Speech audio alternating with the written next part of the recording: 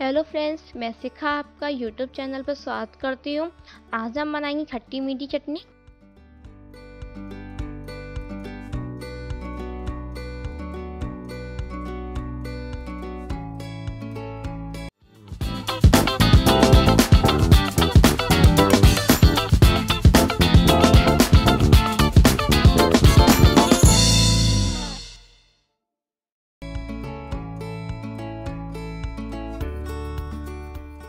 सबसे पहले हम कच्चा आम लेंगे।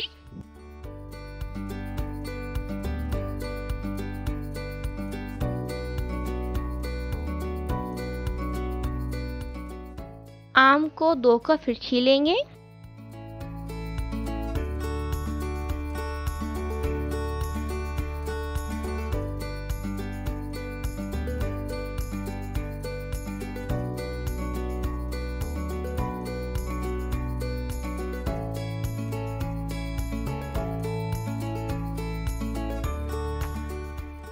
आम को हमने छील लिया है। आम हल्का चिपक रहा है तो उसे पानी से धो लेंगे।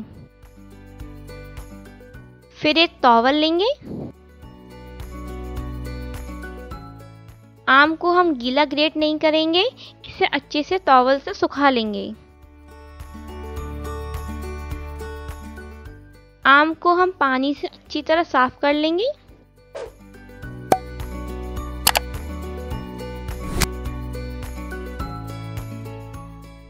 आम को टॉवल से अच्छे से सुखा लेंगे।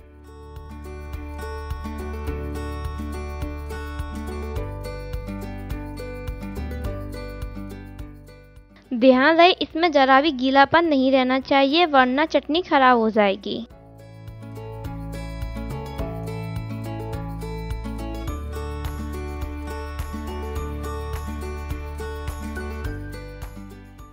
अब आम को ग्रेट करेंगे।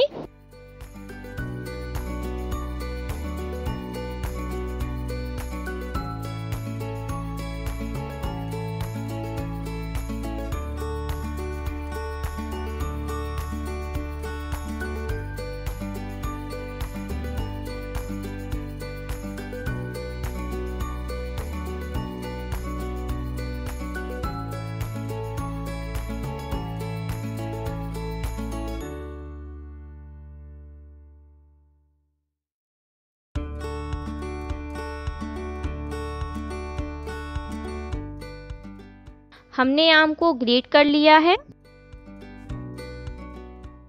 अब हम कढ़ाई लेंगे। गैस को ऑन करेंगे। कद्दूकस किए हुए कच्चे आम को सीधे कढ़ाई में डाल देंगे।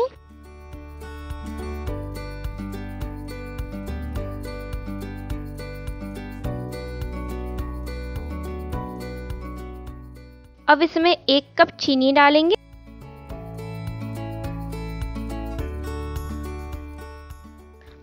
अपने स्वाद अनुसार चीनी कम या ज़्यादा कर सकते हो। इसको लगातार चलाते रहेंगे जब तक तो चीनी मेल्ट ना हो जाए।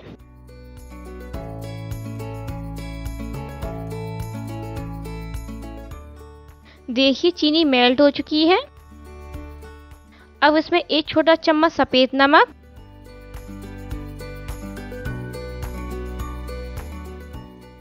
एक छोटा चम्मच काला नमक एक छोटी चम्मच पिसी हुई लौंग।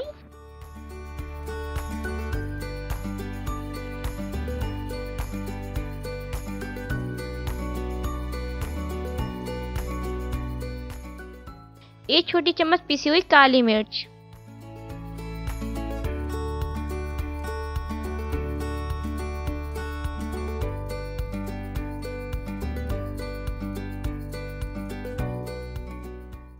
हमने सब चीज़ों को डाल दिया है, अब इसे अच्छे से पकने देंगे।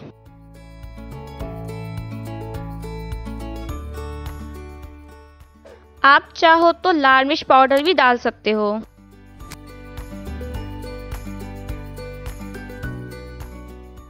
चीनी मेल्ट हो चुकी है, अब उसे अच्छे से पकने देंगे।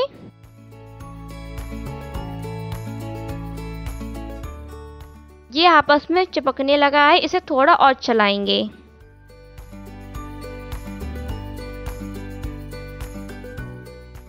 देखिए, जब इस तरीके से उठने लगे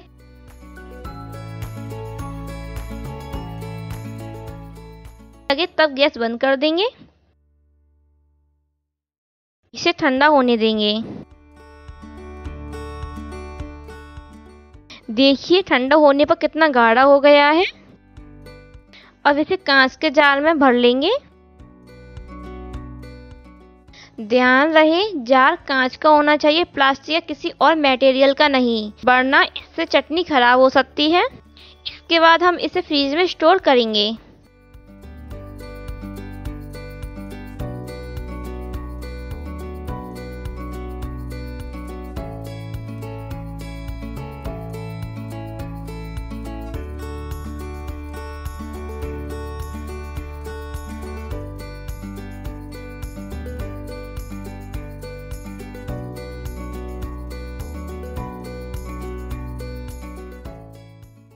ध्यान रहे, कांच के जार में किसी भी तरीके की नमी नहीं होनी चाहिए।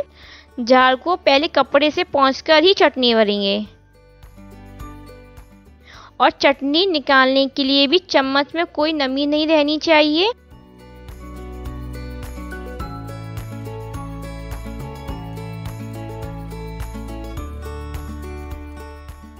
इसे हम फ्रिज में रखकर तीन महीने तक इस्तेमाल कर सकते हैं। घरों में अक्सर बच्चे सब्ज़ी के लिए मना करते हैं। आप बच्चों को रोटी पर चटनी लगाकर रोल करके देख सकते हैं।